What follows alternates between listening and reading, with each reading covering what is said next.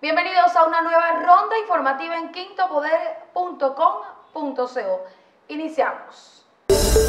En la unidad de cuidados intensivos intermedios fue recluido el alcalde del municipio de La Jagua de Ibirico, Cesar Obelio Jiménez Machado, tras ser diagnosticado con coronavirus. El funcionario está hospitalizado en el Instituto Cardiovascular del Departamento del Cesar a la espera de una evolución satisfactoria en las próximas horas.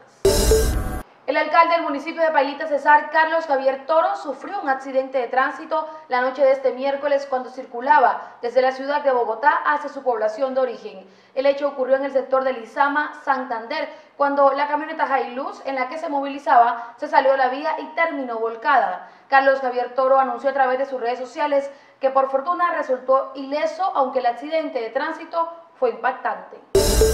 La mujer que presuntamente transportó hacia el barrio Villamirian de Valledupar al delincuente que intentó acabar con la vida del transportador de pasajeros Eneil Gutiérrez González fue detenida por la policía. Se trata del Cimaira Hernández Cantillo, de 39 años, quien tiene anotaciones judiciales por delitos como estafa, fuga de presos, violencia contra servidor público, tráfico y fabricación de estupefacientes y hurto. Todos estos cometidos en los departamentos de La Guajira, Magdalena, Córdoba y Cesar. Eneil Gutiérrez es yerno del cantante Miguel Herrera y permanece recluido en un centro asistencial de la ciudad de Valledupar luego de que dos proyectiles le impactaran en el hombro izquierdo y en el pómulo de este mismo lado.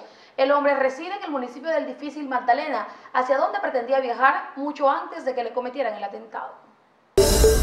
Los funcionarios del Cuerpo de Bomberos de Valledupar siguen implorando el pago de sus cuatro salarios, las primas y las bonificaciones. Este jueves decidieron cerrar el área administrativa de la sede bomberil.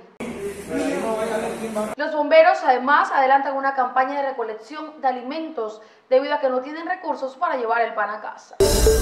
Un juez de control de garantías emitió órdenes de captura en contra de los dos uniformados que estarían implicados en la muerte de Javier Ordóñez en la ciudad de Bogotá. La Fiscalía General de la Nación les imputará cargos por el delito de homicidio agravado a Juan Camilo Lloreda Cubillos y a Harvey Damián Rodríguez Díaz.